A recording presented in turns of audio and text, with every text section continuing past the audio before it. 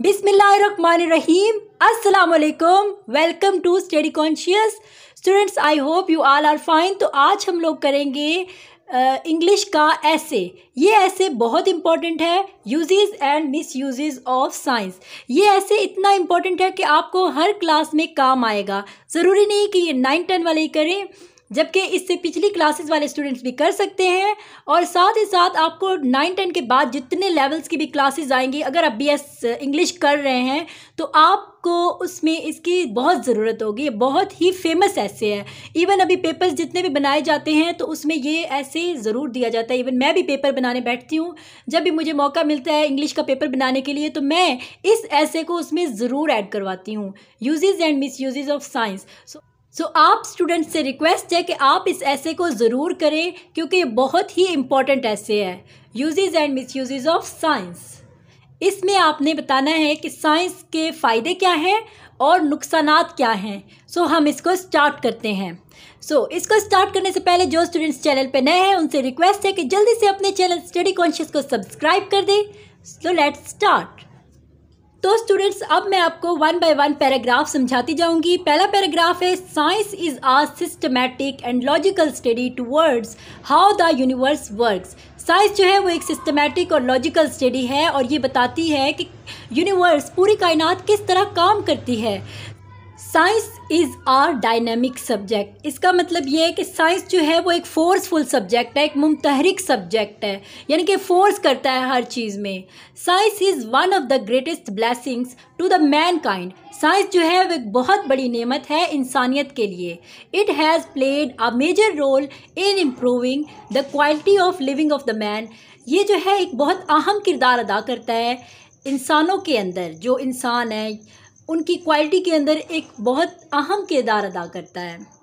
So moving on the next paragraph science is involve in cooking eating breathing playing driving ई अगर हम देखें कि science किस किस चीज़ में अहम किरदार अदा कर रहा है, अगर हम कुकिंग को देखें, उसमें भी ईटिंग ब्रीथिंग सांस लेने में भी साइंस अमल कर रहा होता है, खेलने में भी, आप गाड़ी चला रहे हैं, उसमें भी द फैब्रिक वी वर्ड यानी कि जो भी कपड़ा हम पहनते हैं the brush we the brush and paste we use जो ब्रश हम यूज़ करते हैं, दांतों को ब्रश करने के लिए, और वो पेस्ट जो भी हम यूज़ करते हैं the shampoo the talcum powder talcum powder जो आम पाउडर हम घर में यूज़ कर रहे हैं, वो होता है द ऑयल वी अप्लाई यानी कि ऑयल वगैरह सब everything is the consequence of advancement of science तो ये सब जो नतीजे हैं, ये साइंस की तरक्की से ही हैं।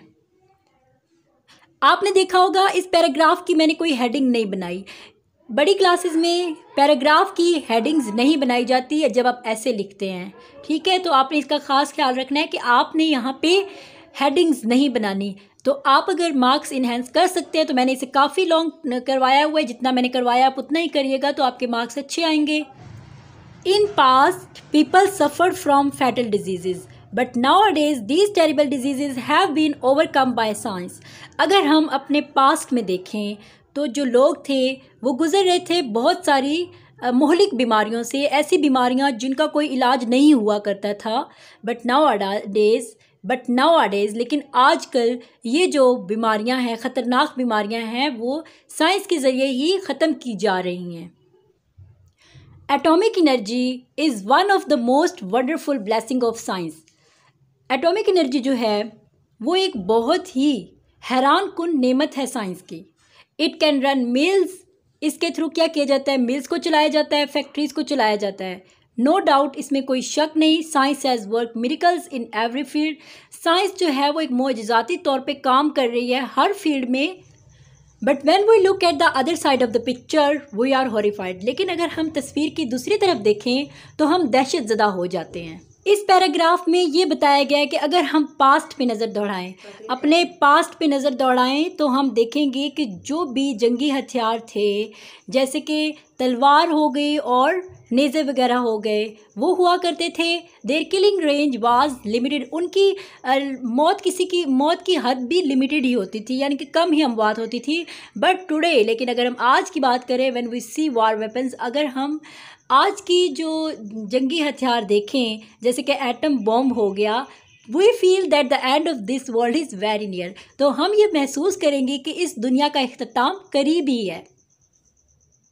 इस पैराग्राफ में ये बताया गया है we can see the destruction of Hiroshima and Nagasaki अगर हम हिरोशिमा और नागासाकी की तबाही को देखें where first atom bomb was thrown जहाँ पे सबसे पहले एटम बॉम्ब को गिराया गया। The smoke and pollution left by mills and factories और जो मिल्स और फैक्ट्रीज से स्मोक और जो भी पोल्यूशन वगैरह था are spoiling the whole atmosphere वो सारे एटमोसफियर को ख़राब कर रहा है, तबाह कर रहा है। Science also invent internet cell phone science ने इंटरनेट ईजाद किया है और सेल फ़ोन ईजाद किया है. It is not saying that these are harmful for us ये नहीं कहा गया कि ये सारी आपके लिए हार्मफुल हैं. If we use it for our purpose अगर हम इसे अपने मकसद के लिए यूज़ करें these invention are too much helpful for us तो ये इन्वेंशन हमारे लिए बहुत ज़्यादा मददगार साबित होंगी. But these are not fully necessary for children लेकिन ये बच्चों के लिए बिल्कुल भी ज़रूरी नहीं. By using mobile phones and internet, the children become rude and their behavior is changed. Mobile phone को और इंटरनेट को इस्तेमाल कर करके जो बच्चे हैं वो सख्त हो गए हैं बदतमीज़ हो गए हैं और उनका रवैया जो है वो भी चेंज हो गया है आई होप स्टूडेंट्स आपने इस ऐसे से बहुत सारी इन्फॉर्मेशन गेन कर ली होगी और आई होप ये आपके लिए इजी भी साबित होगा अगर आप चाहते हैं कि मैं इसी तरह आपके लिए एसेज लेकर आऊँ इंपॉर्टेंट इंपॉर्टेंट एसेज लेकर आऊँ तो आप कमेंट्स में बताइए जिस टॉपिक पे आप ऐसे चाहते हैं। लेकिन मैं वही टॉपिक्स लेकर आऊँगी जो आपके लिए बहुत ज़्यादा इंपॉर्टेंट होंगे। अगर आप चाहते हैं कि मेरी हर वीडियो आप तक सबसे पहले पहुँचे तो आप अपने चैनल स्टडी कॉन्शियस को सब्सक्राइब कर दें।